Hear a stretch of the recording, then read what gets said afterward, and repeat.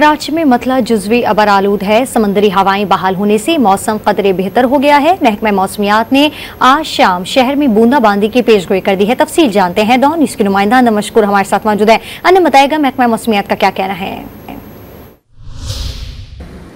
जी बिल्कुल, कराची में आज मतला जुजवी तौर पर अबर आलूद है। मौसम गर्म और मरतूब है। अगर हम बात करें समंदरी हवाओं की तो कराची में समंदरी हवाएँ बहाल हुई हैं। 22 किलोमीटर फ़ी रफ्ता जो है, फ़ी घंटा रफ्तार से जो है, ये हवाएँ चल रही हैं, जिसके बाद जो है, दर्ज हरारत में वाज कमी आई है। तकरीबन बत्तीस डिग्री सेंटीग्रेड आज का दर्ज हरारत बताया जा रहा है। इस वक्त शहर कायद का और साथ साथ ये भी कहा जा रहा है कि हवा में नमी का तनासब क्योंकि ज़्यादा इस वजह से जो गर्मी की शिद्दत है, वो ज़्यादा महसूस की जा रही है। इस वक्त जो गर्मी, जो हवा में नमी का तनासब है, वो तकरीबन तकरीबन पिछहत्तर जो है फ़ीसद है, जिसकी वजह से गर्मी जो महसूस की जा रही है, वो अड़तीस डिग्री सेंटीग्रेड तक है। अगर हम बात करें ज़्यादा से ज़्यादा दर्जा हरारत की तो आज ज़्यादा से ज़्यादा दर्जा हरारत जो होगा, वो तकरीबन अड़तीस डिग्री सेंटीग्रेड तक ही जाने का इम्कान है।